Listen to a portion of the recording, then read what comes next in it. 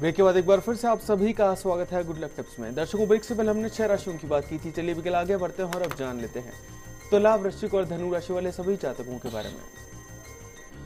तुला राशि की बात करते हैं। आज सेल्फ कॉन्फिडेंस बनाइए रख, बनाए रखिएगा और पॉजिटिव सोच रखिएगा। आज आप अपनी पॉजिटिव सोच से आप वो सब कुछ पा सकते हैं जिसकी अब तक आपको कमी रही है। आज के दिन की सफलता के लिए किसी छोटी कन्या के चरण छूकर दिन की शुरुआत कीजिएगा, दिन अच्छा गुजरेगा। अगली जो राशि, वृश्चिक राशि। आज आपका दिन बहुत अच्छा रहने वाला है। कारोबार, रोज़गार में मनोवांछित सफलता मिलने से अच्छे धन की प्राप्ति हो सकती है। नई योजना और साझेदारी के कारोबार पर भी विचार बन सकता है।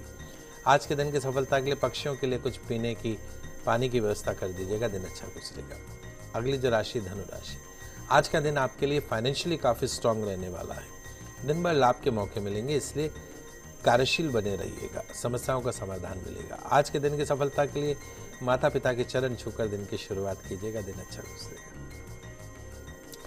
पंडित जी अंतिम तीन राशियों की तरफ़ बढ़ने से पहले एक दर्शक जुड़ी है हमारे साथ। अंजना जी है कोटा से। अंजना जी आपका बहुत बहुत स्वागत है। आप जिसके बारे में भी जानना चाहती हूँ उनकी जन्म की तारीख और समय बताइए और सवाल पूछिए।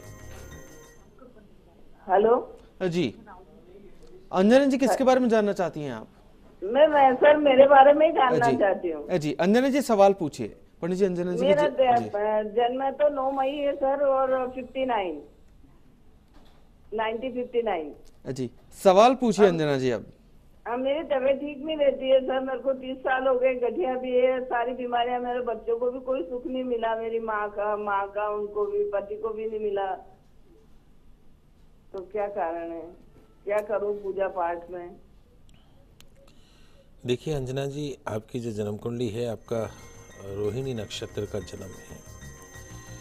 आपकी जन्म कुंडली की अगर हम वैसे विवेचना करें तो आपकी वैसे ग्रहों में कोई कमी नहीं है। सूर्य उच्च का है बुध आदित्य योग बना हुआ है।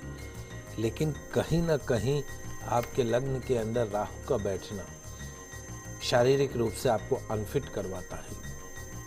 यदि आप गठिया जैसी बीमारी से मुक्ति चाहती हैं, जिसका कोई इलाज नहीं है, मेडिकल साइंस में गठिया का कोई इलाज नहीं है, बस दर्द की दवा लेते रहिए। और जितनी दर्द की दवा लेते हैं, उतना बॉडी के ऊपर नेगेटिव इम्पैक्ट पड़ता है। लेकिन आज मैं आपको एक ऐसा मंत्र बता रहा हूँ, जिस मंत्र का जाप करने से आप आपकी गठिया जैसी बीमारी को ठीक कर सकते हैं। मैं दावे के साथ कहता हूँ कि यदि आप इसको संकल्प कर लें और इस मंत्र का नियमित रूप से आप जाप करें तो आपको बहुत आराम दिखाई देगा आपकी बीमारी के अंदर बड़ा सरल मंत्र है भगवान भोलेनाथ का बीज मंत्र है ओम बम बम होता है ना फूटने वाला बम वैसे ओम बम बम बम बम बम बम बम बम बम ओम बम ओम बम या ओम बम करना चाहे या खाली बम बम बम बम बम बम बम बम बम जब भी खाली बैठे जब भी फुर्सत हो सिर्फ़ मन मन के अंदर ओम बम बम बम बम बम बम बम बम का उच्चारण करते रहिए देखिए आपके इतना चमत्कारी कि ये जो बम जो शब्द है ये जो बीज मंत्र है भोलेनाथ का ये आपकी गठिया जैसी बीमारी को जड़ से खत्म कर देगा हमने कितने ही ऐसे पेशेंट को ठीक किया है खाली इस मंत्र के जाप से खाली बम बम बम बम बम बम बम तो पहली चीज़ तो आपको इस मंत्र का नियमित रूप से जाप करना है। खाना बनाते समय अपना मुख पूरब दिशा में रखिए। जब आप गैस पे खाना बना रही हैं तो आपका मुख पूरब रहना चाहिए। सोते समय अपना सिर पूरब में रखिए या दक्षिण में रखिए। वज़न के बराबर गुड़ का दान कीजिए।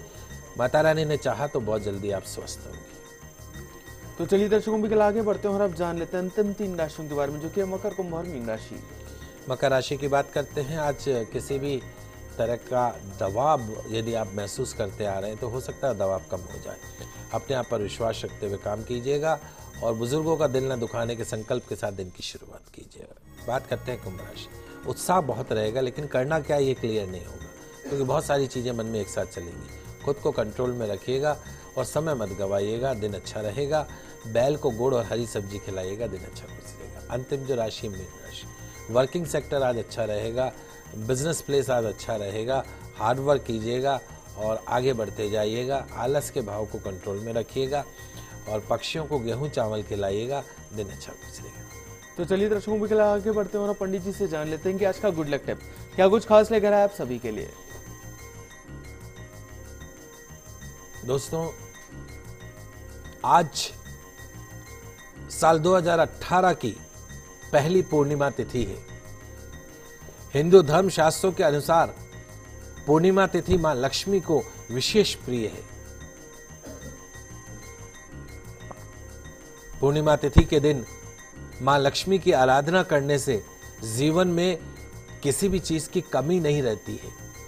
आज मैं आपको साल की प्रथम पूर्णिमा तिथि पर करने वाले कुछ ऐसी रेमेडीज बताने जा रहा हूँ जिनको आज के दिन करने से पूरे वर्ष आप धन से मालामाल बने रहेंगे।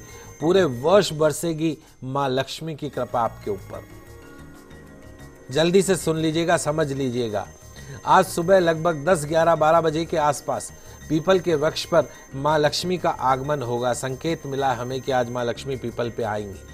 तो स्नान आदि से निवृत्त होकर पीपल के पेड़ पर कुछ मीठा रख दीजिएगा उसके नीचे, मीठा जल अर्पण कीजिएगा उसकी जड़ों में, और धूप, अगरबत्ती जलाकर माँ लक्ष्मी जी का पूजन कीजिएगा, माँ लक्ष्मी जी की आरती कीजिएगा, और माँ लक्ष्मी को अपने घर पर निवास करने के लिए आमंत्रित कीजिएगा। निश्चित तौर पे पूरे वर्ष माँ लक्ष्मी की कृपा आपके ऊपर बनी रहेगी। आज आपको हल्दी में थोड़ा सा पानी डालकर, उसमें घर के मुख्य द्वार पर या प्रवेश द्वार जिसको कहते हैं, वहाँ पर ओम का चिन्ह ज़रूर बनाइएगा। और आज शाम को चंद्रमा उदय होने के पश्चात साबुदाने की खीर बनाइएगा, मिश्री डालकर, और माँ लक्ष्मी को उसका भोग लगाइएगा, फिर प्रसाद के रूप में घर के सभी सदस्य खाइएगा। घर के अंदर जो है दाम्पत्य जीवन भी सुखमय बना रहेगा, धन आगमन का मार्ग प्रशस्त होगा।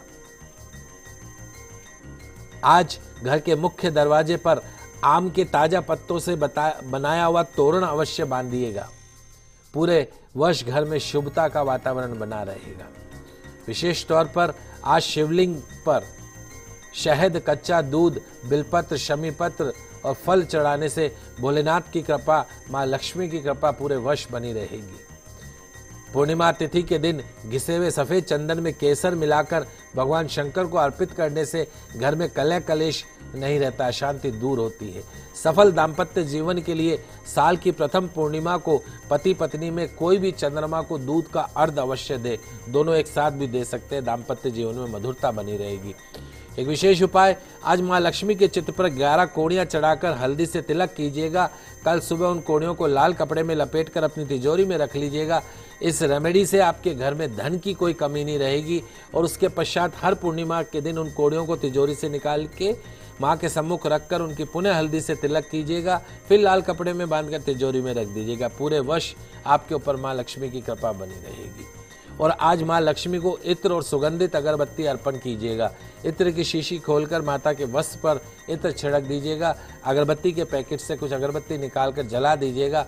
धन, सुख, समृद्धि, ऐश्वर्य की देवी माँ लक्ष्मी से अपने घर में स्थायी रूप से निवास करने की प्रार्थना कीजिएगा। तो सरल सी रेमेडीज आज वर्ष की प्रथम पूर्णिमा के दिन यदि आप करते हैं तो निश्चित तौर पे माँ लक्ष्मी आपके ऊपर धन की वर्षा करेगी और साथ साथ में आपके घर में सुख शांति समृद्धि का वास करवाएगी तो दर्शकों हम आशा करते हैं हमारा कार्यक्रम आज आप सभी को काफ़ी पसंद आया होगा। पंडित जी आपका बहुत बहुत शुक्रिया स्टूडियो मानने के लिए दर्शकों की समस्याओं का समाधान करने के लिए।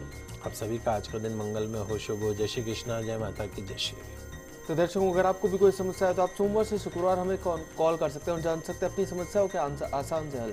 साथ ही में आप हमें ईमेल भी कर सकते हैं। हमारा ईमेल आईडी है good luck at the rate first India news dot com.